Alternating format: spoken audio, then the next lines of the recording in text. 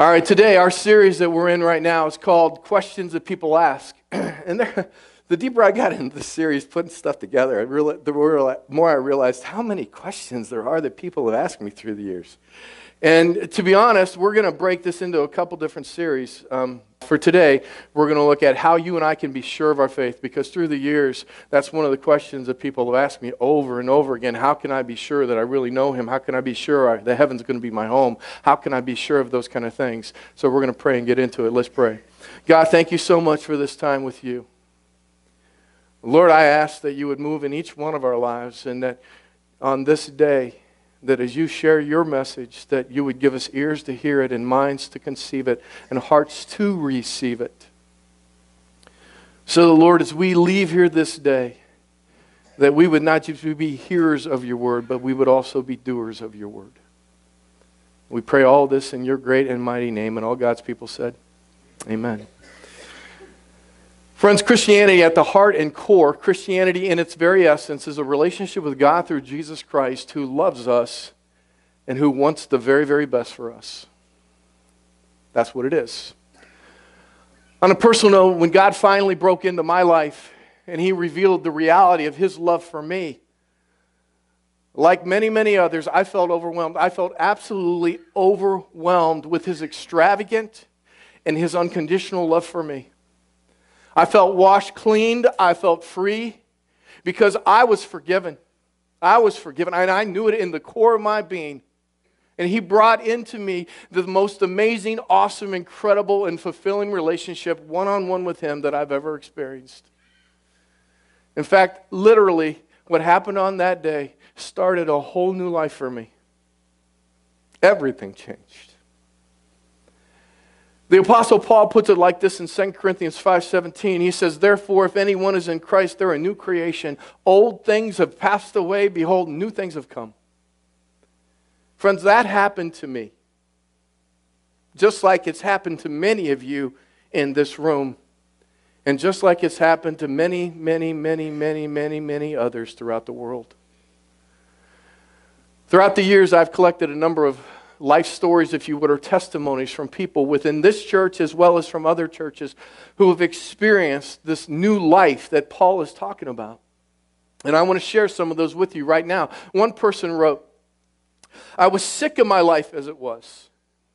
And so, sitting in a chair in a truck stop, I bowed my head into another chair at midnight and I asked God to change my life. Within the hour, I was a new creation. God lifted me and He freed my heart, and I knew I was a different person, and it brought about dramatic changes.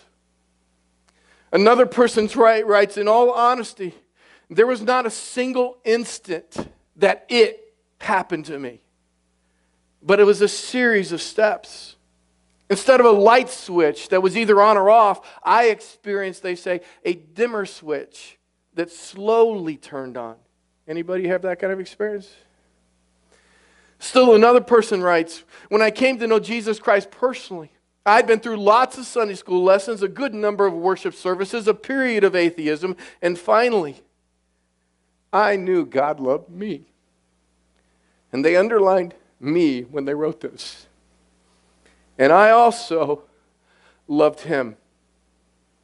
Never had anyone been so real he became my purpose for living. In fact, He became my life. One last one.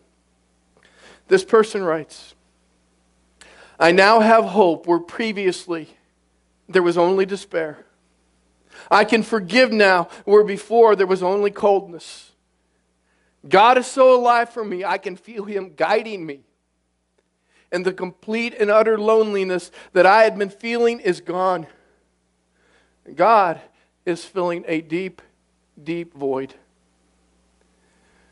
Friends, as these testimonies illustrate, experiences can vary greatly, right? And they do. For some, there are life changing, immediate differences right now, aren't there? But for others, it's a long, slow change, a gradual awareness, a dimmer switch that slowly turns on. But hear this, friends. The bottom line is this it's not your experience or my experience that matters. It's not. What really matters is the fact that you and I have received Jesus Christ as our personal Lord and Savior, however that happens to us. And with that, you and I become God's children. That's what matters. The Apostle John puts it like this in John 1 12. He said, says, to, Yet to all who receive him, speaking of Jesus, to all who receive him, to those who believe in his name, he gave the right to become children of God. Now, friends, one thing that every good parent wants for their child to possess is a confidence, right? An utter security of their love and their relationship and their family, right? Deb and I try to do this daily with our kids and with our grandkids through hugs and through kisses and through words of affirmation and words of encouragement and I love yous. But to be honest, every once in a while, I intentionally try to do something a little different to try to shake them up and to hit my kids or grandkids from a little different perspective, a little different angle. And one of the things I used to do with my girls when they were little is that I'd grab one of them and I'd pull them to the side and I'd look them tenderly in the eye. And they say, honey, you know I love you, right? But I want you to know something. If God were to line up all the little girls in the world, if he were to line up all the little girls in the world, and he said you can pick whatever little girl you want, I would pick you. I would pick you. Honey, I love you so much.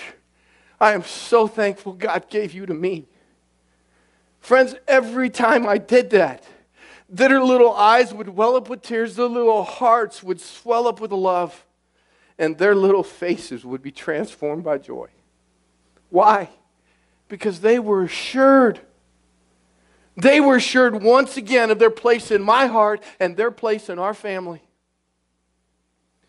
In the very same way, hear this, in the very same way, God wants all of us, all of us who have faith in and become His children. He wants all of us to be enveloped in His love and be assured of our place in His love and in His family.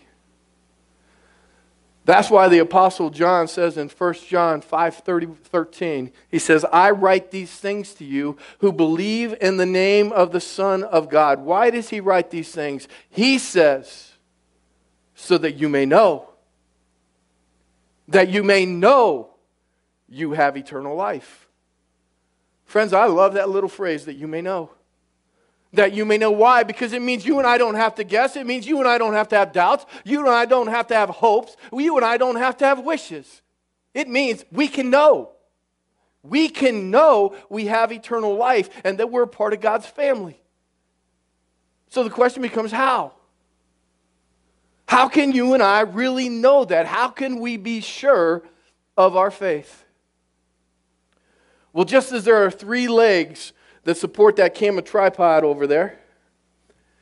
There are just as there are three legs. Our assurance of our relationship with God firmly stands on the three members of the Trinity. First, there's the promises that the Father gives us through His Word, the Word of God. Second, there's the sacrifice of God's Son for us on the cross, the work of Jesus. And third, there's the assurance of the Holy Spirit's work in our hearts, the witness of the Spirit. So this morning, I want to look at each of these three things one at a time. First, the Word of God. The Word of God. Friends, think about this. If you and I lived our lives relying on our feelings, then we'd never be sure about anything, would we? Never. I mean, depending on the weather and the breakfast we had or the breakfast we didn't have, or whether she loves me or whether she loves me not. Our feelings can go up and down and all around. They can be positive and negative. They're constantly changing, they're constantly shifting, they're deceptive. But on the other hand, the Bible, God's promises to us never change. They are always trustworthy and they are always reliable. Why? Because that is the very nature of the God who gives us His word. He is trustworthy and He is reliable. And one promise that our trustworthy and reliable God gives us is Revelation 3:20. In this verse, John the Apostle is caught up in a vision, and in that vision, he sees Jesus speaking to seven different churches. And one of the churches he's speaking to is the church of Laodicea. And Jesus says to that church, Here I am. I stand at the door and knock.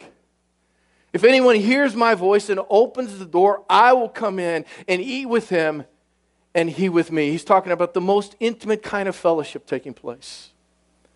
Friends, this verse is a very picturesque way of describing the reality of how we become Christians.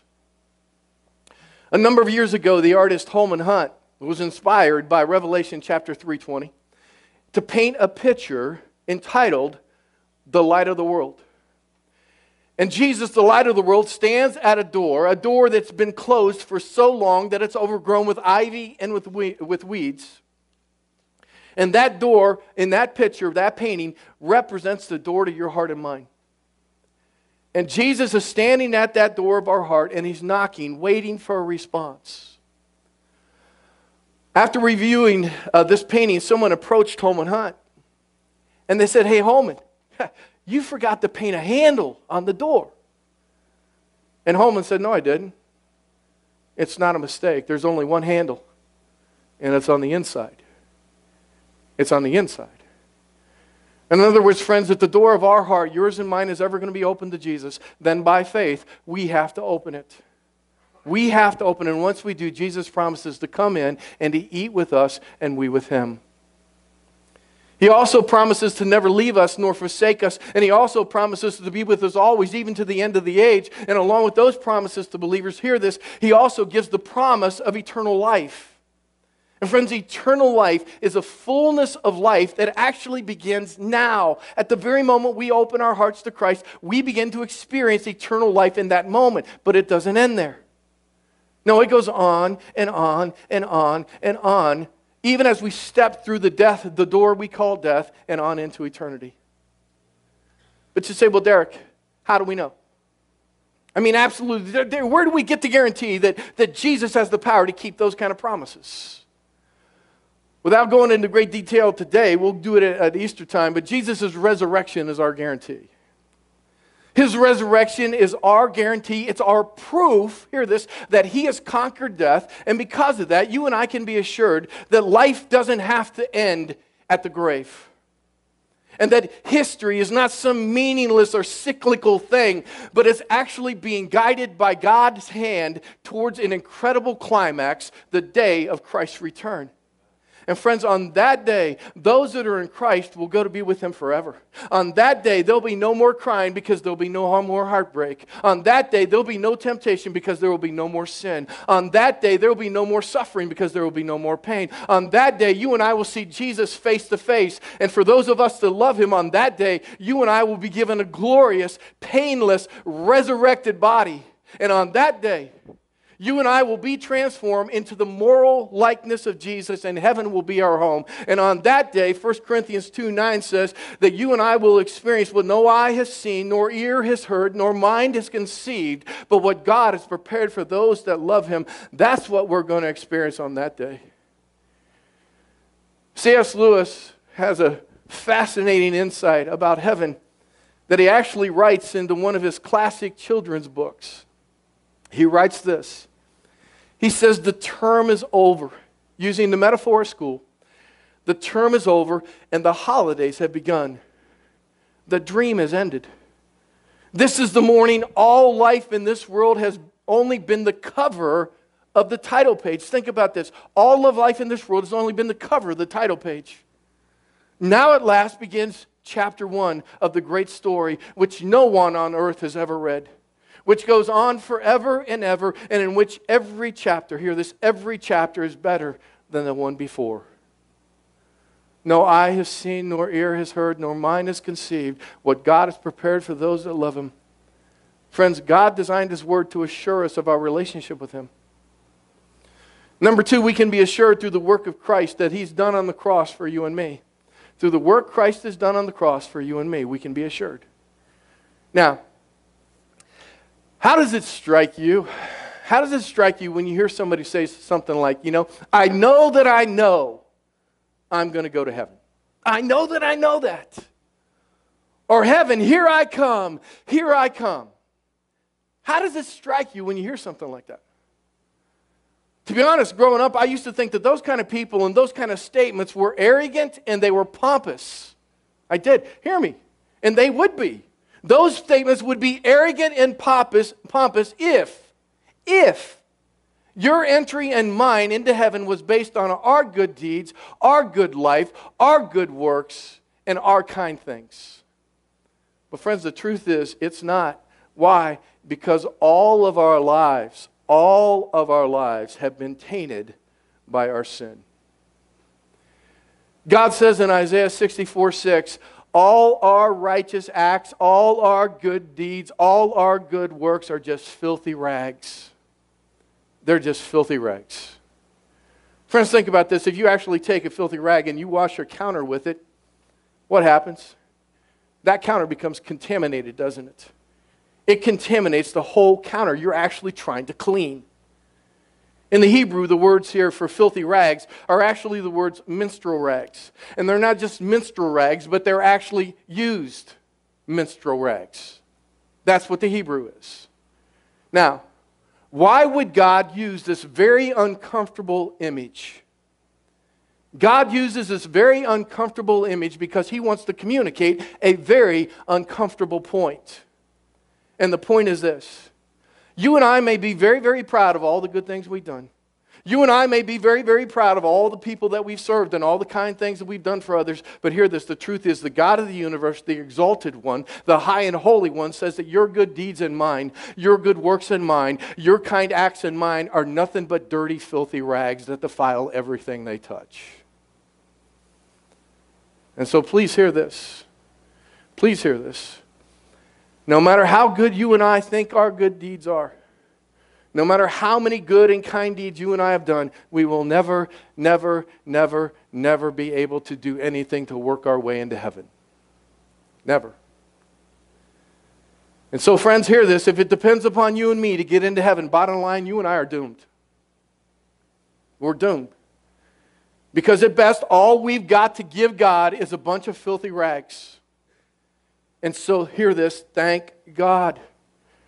Thank God that your eternity and mine is not dependent on us and what we've done. No, it depends on Christ and what Christ has done.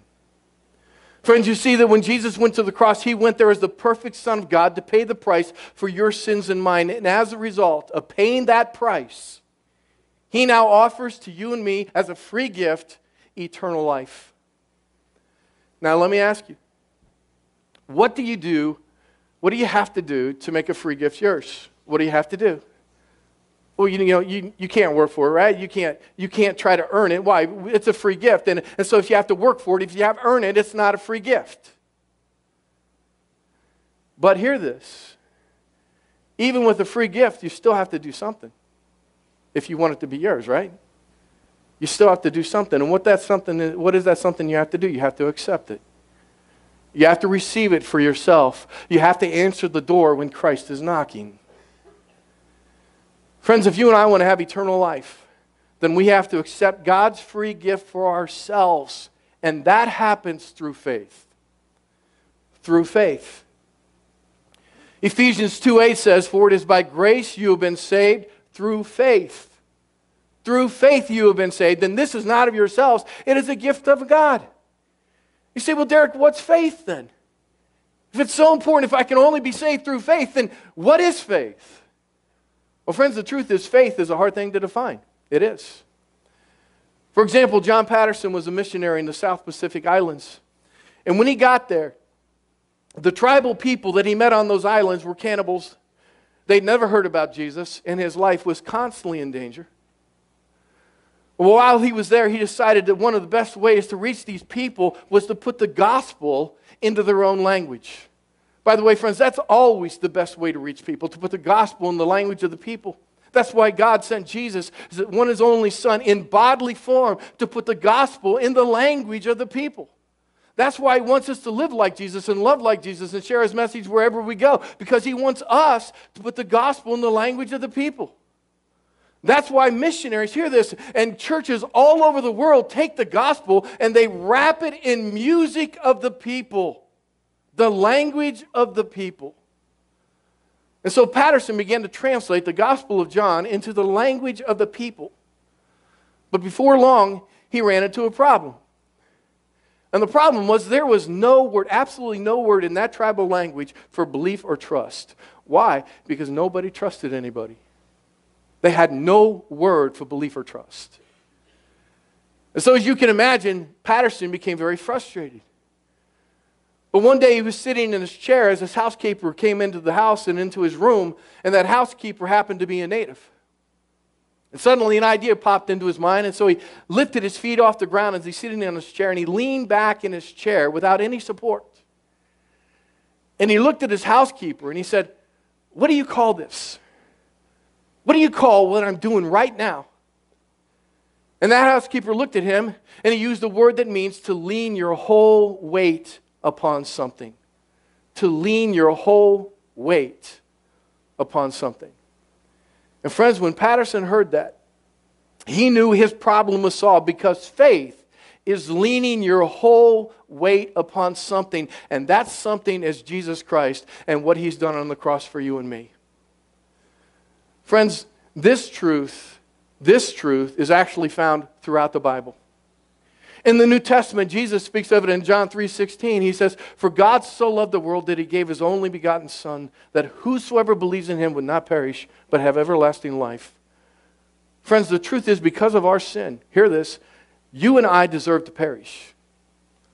You and I deserve to be eternally separated from God. But God, out of his extravagant love for you and me, when he saw the mess that sin had made in our lives, he gave his one and only Son, Jesus, to pay the price for us, to die upon the cross for our sins. And as a result of his sacrificial death, if you and I have faith, if we believe, if we lean our whole weight into Christ and what he did for you and me on the cross, then the gift of eternal life is ours. That truth is also found in the Old Testament. In Isaiah chapter 53, verse 6, the prophet Isaiah, hear this, hundreds of years before Jesus ever died upon a cross, Isaiah was directed by God to write this.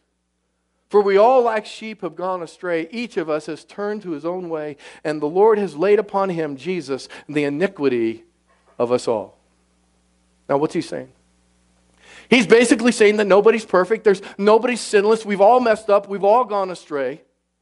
And then in Isaiah 59 2, it talks about our sins, the things we do wrong, causing a separation between us and God, creating a barrier, if you would. And that barrier actually prevents us from experiencing God's love. And because of that barrier, Jesus Christ, the perfect, sinless Son of God, went to the cross. And the Bible says that it was there upon that cross that God laid upon Jesus the iniquities, the wrongs, and the sins of your life and mine. Why? So that you, if you and I would have faith in Christ, if you and I would lean our whole weight into Him and His work on the cross, then that sin barrier between us and God could be removed. And so today, if you have faith in Jesus Christ and what he did for you on the cross, you can be assured of this. You can be assured of God's forgiveness. You can be assured that your guilt is going to be taken away. You can be assured that you will never be condemned. Romans 8 1 puts it like this there is no condemnation. None, it says, for those that are in Christ Jesus. None. Why? Because he has taken that on. Friends, Christ's work on the cross is the second reason you and I can be assured that we have eternal life. And there's a third reason. The third reason is the witness of the Spirit. The witness of the Spirit. Friends, when somebody becomes a Christian, at that very moment, God places in them His Holy Spirit to live within them. The Bible calls that the indwelling of the Holy Spirit in your life and mine. The Holy Spirit comes in to indwell us, those that believe. And when the Holy Spirit comes to indwell us, there are many, many works and many, many activities that He wants to get done. But there are two of them in particular that are ones that He wants to use to reassure us of our faith. First, He wants to transform us from within. He wants to transform us from within. Why? Hear this. Because according to the Romans, the Holy Spirit's number one desire in your life and mine, the Holy Spirit's number one goal in your life and mine is to conform us to reshape us into the image of Christ. In other words, to develop Christ like character in you and me. Why? so that no matter where we go, no matter what we do, we experience and others experience through us the fruit of the Spirit in our lives. In other words, he wants to bring forth from us the character qualities of Christ. That's what the fruit of the Spirit is. The character qualities of Christ love, joy, peace, patience, kindness, goodness, faithfulness, gentleness, self control. Why? So that people can see and experience Jesus in us. And so, from the moment that you and I open our hearts to Christ, the Holy Spirit begins to work in our lives to produce His fruit.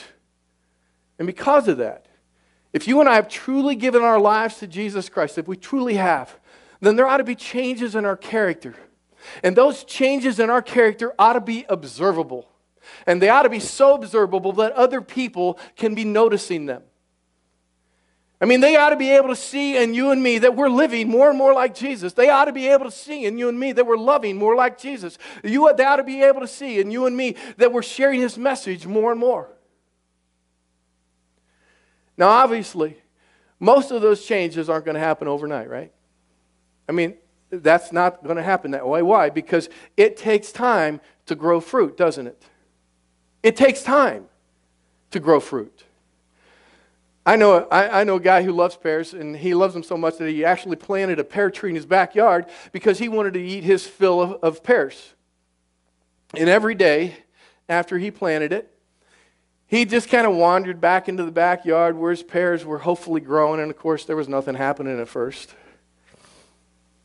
But then one day he talked about this with a, with a couple of our friends, and uh, when he wasn't around, another friend of ours decided to play a little joke on him. And you've probably heard of people doing something like this, but this friend took a bunch of Granny Smith apples. And remember, this is a pear tree. And so he took a bunch of Granny Smith apples and he tied them onto that pear tree. Now, when our other friend returned, of course, he wasn't fooled, but hear this, he was thankful for the reminders. One, it takes time to grow fruit, right? It takes time to grow fruit. And number two, when fruit does grow, it's consistent with the tree. In other words, pear trees naturally produce pears, not apples. Friends, over time, if you and I will cooperate with the Holy Spirit's work in our lives, then we're going to begin to bear the fruit that is consistent with His Spirit. In other words, you and I are going to become more and more loving. We're going to become more and more joyful and peaceful and patient and kind and good and faithful and gentle and self controlled. And so, if you and I allow the Holy Spirit to do our work in, His work in our lives, we are going to see all kinds of changes in our character. But catch this we'll also see changes in our relationships. Changes in our relationship, both with God and with others. For example, we'll begin to develop a whole new love for God. A whole new love for God. For example, through the years, I've met several people who have now become Christian, but when I first met them, they were repulsed. Absolutely repulsed by the name of Jesus. They hated it. And they hated it for all kinds of different reasons, and it created all kinds of negative emotions in them, but they hated it. But then they experienced the extravagant, unconditional love of Jesus Christ in their lives for themselves. And I promise you, they would tell you today that the name of Jesus today is the sweetest, most precious, most powerful, and most beautiful name they know. They love it, they serve it, and they give their lives to it. Why?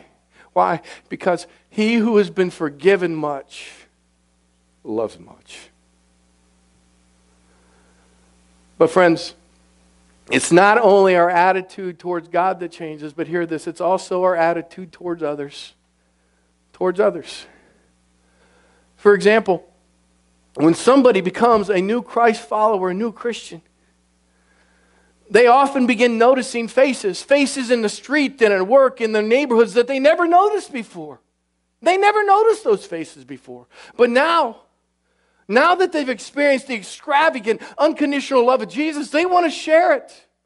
And so when they see somebody who's hurting, they want to reach out and heal. When they see somebody in need, they want to reach out and help. When they see somebody who's seeking, they want to reach out and lead them to Jesus, the way, the truth, and the life.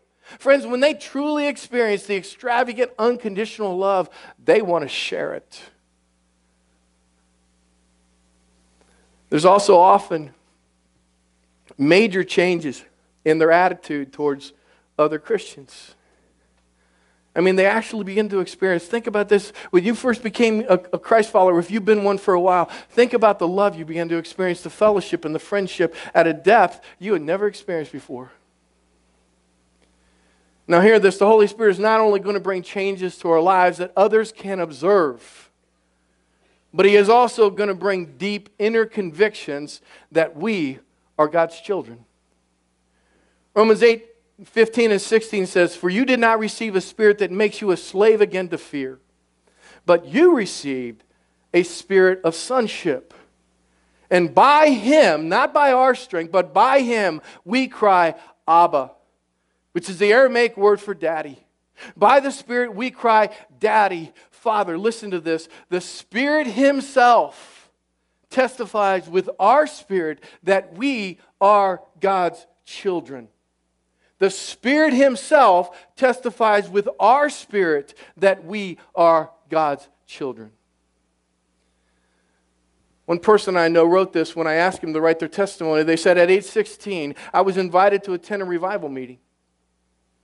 During the sermon, I felt a deep conviction and a call to go forward. And when I knelt down at the altar to confess my sins, God was faithful with His cleansing power.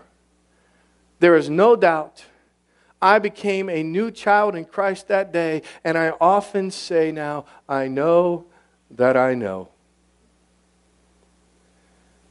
Friends, that's what Romans 8 15 and 16 is talking about. It's talking about God's Spirit testifying to our spirit that we are His children. We can know that we know. But hear this not everyone is going to experience that in the very same way. For example, Carl Tuttle is a pastor. He came from a broken home. He grew up with an abusive father. And in general, he had a very, very difficult and unhappy childhood. So, as you can imagine, because of that, when he became a Christian, he struggled greatly with his intimacy with God, struggled greatly. One day he desperately wanted to hear from God and what God was saying to him, so he drove out into the countryside so he could spend all day in uninterrupted prayer with God. But after about 15 minutes, he felt like his prayers weren't going anywhere, and so depressed and disappointed, he packed it all in and he headed for home. When he got there, he greeted his wife, and then he asked where Zachary, their little two month old boy, was at. And she told him, and so he went in and he picked up Zachary. And when he did, Carl says, Suddenly, suddenly I had this incredible feeling of love for my little boy. It just washed all over me. And he said, I started crying. And I said, Zachary, I love you. I love you with all my heart, and no matter what happens in this life, I will never harm you. I will always protect you. I will always be your father. I will always be your friend. I will always care for you. I will always nurture you. And I will always do this no matter what you do or what sins you commit or whether you turn from me or even from God. And then Carl says, suddenly I had this overwhelming sense, overwhelming sense that as I was holding my little boy, God was holding me. He was holding me. And God was saying to me, Carl, you're my son. I love you. And no matter what you do and no matter where you go, I will always love you. I will always care for you. I will always provide for you. And I will always guide you. Friends, the Spirit, hear this, the Spirit was witnessing to Carl's spirit that he was a child of God. Do you have that witness? Now, hear this your experience may not be anything like that, but do you have that witness in your heart? The witness of the Holy Spirit in your life. Friends, of the witness of the Spirit is the third way you and I can be assured of our relationship with God, that we've been forgiven, that we're a part of His family, and that we have eternal life. Objectively, objectively, that assurance comes through an ongoing change in our character and in our relationships, both with God and with others. Subjectively, it comes through a deep inner conviction that we are God's child. In these three ways the Word of God, the work of Jesus, and the witness of the Spirit we who have faith in Jesus Christ can be assured. We can be assured that we are God's children and that we have eternal life. And so, hear this to openly state to other people that you and I have eternal life is not being pompous and it's not being arrogant because, hear this, it is not about us. It is not about us, it's about Him.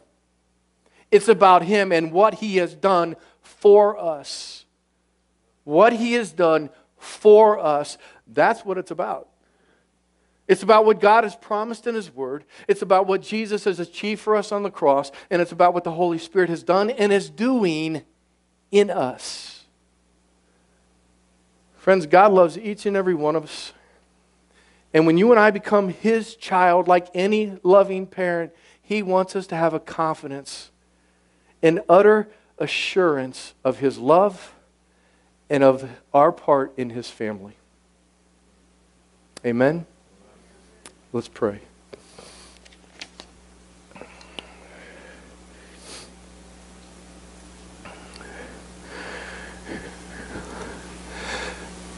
God, thank you for the loving Heavenly Father that you truly are.